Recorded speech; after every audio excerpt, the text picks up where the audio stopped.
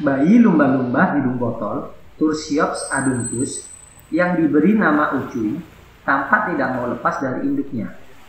Seperti terlihat pada Jumat 15 Februari di Taman Safari Indonesia Prigen, Kabupaten Pasuruan, Jawa Timur. Usianya sekitar 4 bulan. Nia, sang induk, melahirkan Ucuy pada 16 Oktober 2020 dari pejantan lumba-lumba bernama Suarez.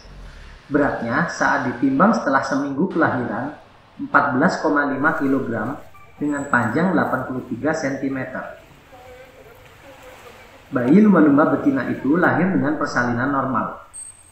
Setelah berada di dalam kandungan induknya selama 12 bulan 5 hari, proses persalinannya memakan waktu sekitar satu jam, dibantu tim dokter bersama kiper atau perawat satwa. Saat ini kita terus memantau secara khusus intensif untuk si induk agar produksi susunya mencukupi karena dia sampai saat ini masih mengandalkan susu dari induk.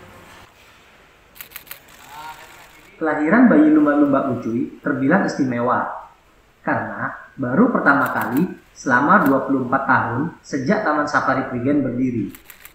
Semakin istimewa karena nama Ucuy diberikan langsung oleh Menteri Lingkungan Hidup dan Kehutanan Siti Nurbaya. Ucuy melengkapi koleksi satwa lumba-lumba di Taman Safari Prigen yang kini berjumlah 5 ekor.